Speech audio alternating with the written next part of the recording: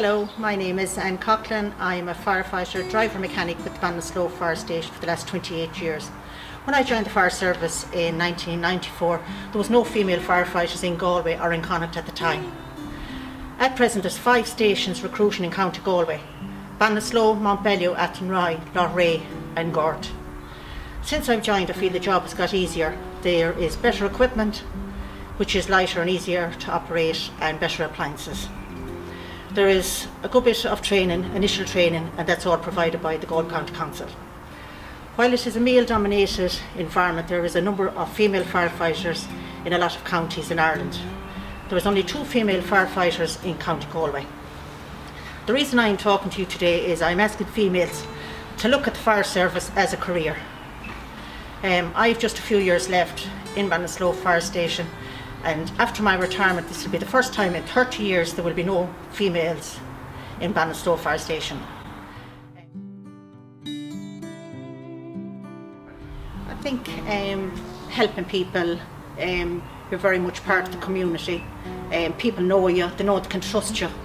Um, sometimes I've gone to calls like and I feel, you know, you can help people, you know, the fact that you know them, um, they trust you.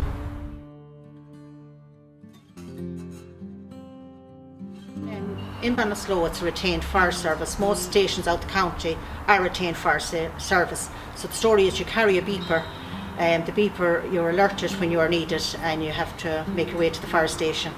Um, it's handy to have somebody on standby if you have family that can help out. You have to turn up to 80% of calls and you have to make drills as well, just two drills a month.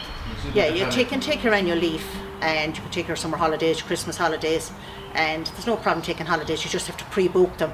You can't just decide you're going to take a day off today without notifying the officer in charge. To join the fire service you have to live within 1.5 miles of the fire station. Um, completed application forms have to be returned to Galway County Council before the 17th of February, which is tomorrow week. Um, all details can be obtained from Galway County Council or, or are on the Connacht Tribune.